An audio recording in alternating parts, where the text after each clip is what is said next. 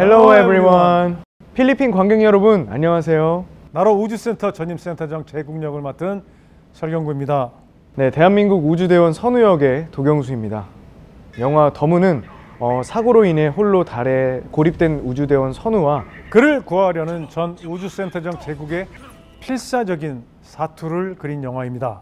실제 우주에 온 듯한 리얼함과 화려한 연출을 극장에서 만나보실 수 있습니다. 그리고 뜨거운 우주 생존 드라마까지 많은 기대 부탁드리겠습니다.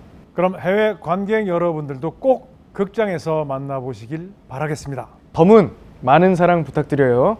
감사합니다. 감사합니다.